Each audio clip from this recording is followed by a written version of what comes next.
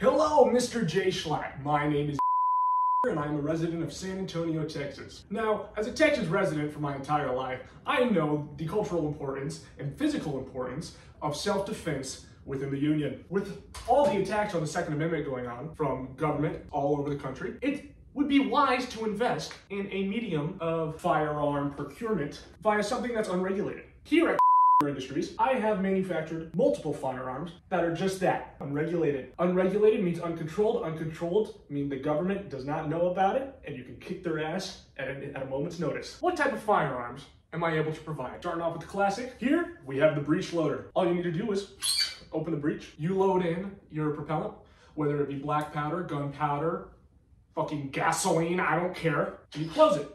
With that nice and tight, you then get anything you want to fire out, shove it down through the muzzle. You get any type of ignition.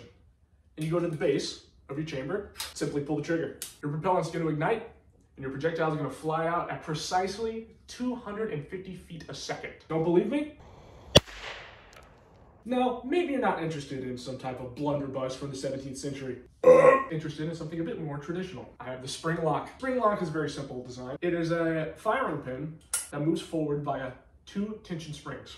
You get your barrel, still waiting on my barrels to be delivered from my supplier. You take your barrel and you slide your cartridge. Any cartridge you want, any cartridge that'll fit. Pull back, slide your finger off, and the firing pin strikes that primer, firing your projectile. Well, Mr. Schlatt, I hope I was able to procure your business and investment. These firearms are very important to the safety of the community and the union. And without your dime, the United States of America very well may fall, just like the Twin Towers did on November 11th, 2000. Need I say more? And remember, Mr. Schlatt, I'm a local Texas resident. Every single video that you've uploaded, where you're outside, I know exactly where it is. I know where to find you. I am within striking distance at any moment. You do not give me the money I need for my business to prosper. There will be consequences. And I know you have a gun. I have one too. Unless you want to get into a firefight, I advise that you invest.